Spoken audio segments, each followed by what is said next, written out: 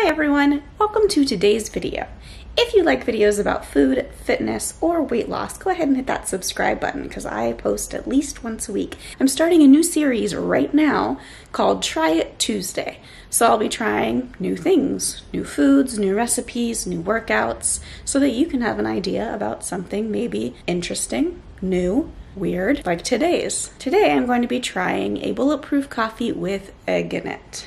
Now, I was watching YouTube and Nicole Burgess had a carnivore full day of eating vlog and she put an egg in her coffee. And I was like, what you doing, girl? But then it was so foamy, like this much foam in the cup. And I was like, hmm, I do like a foamy coffee. So I looked it up and apparently like there's a Vietnamese coffee that has a really thick foam on it with egg.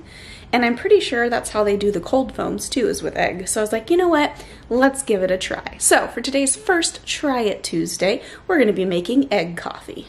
For my egg coffee, I will need a blender, ghee or clarified butter, heavy cream, collagen, and of course, an egg. You can put anything you want in your bulletproof coffee. I'm going with the collagen because I want some protein. I'm trying some ghee for some different flavor than regular butter, and I really like cream in my coffee. So you can choose to do MCT oil, you can choose to do butter, you can choose to do whatever random things you want in your bulletproof coffee.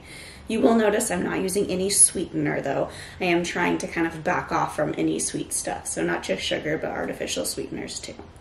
So let's get started. I'm going to start with about a tablespoon of cream.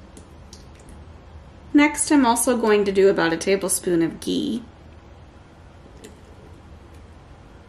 For the collagen, the serving size is two scoops, and I feel like I might need some extra protein today, so I'll do two. Next, I'm gonna add the egg.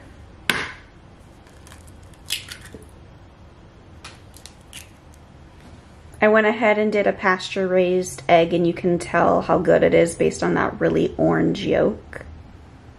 All right, now I'm just gonna add coffee and blend.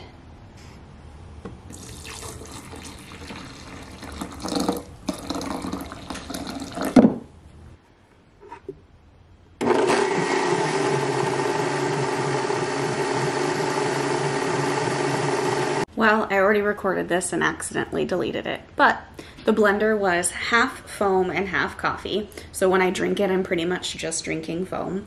It's not sweet at all. It does have a good flavor from the ghee. Um, it would be really good with like some sweetener, maybe even some cinnamon. I picked out this mug because a student gave it to me. It says no drama for this llama. It was one of the biggest ones that I had and I knew I was gonna need it because, you know, half of the blender was foam but I would definitely try this again and I challenge you to try it out. So please comment below and let me know how your egg coffee turned out. Also go ahead and leave a comment if you have a suggestion for something I should try out. I'm pretty much open to anything. Um, I don't really eat like seafood, so that's probably off the table, but go ahead and give me suggestions below. Thank you so much for watching. I'll see you next time. Bye.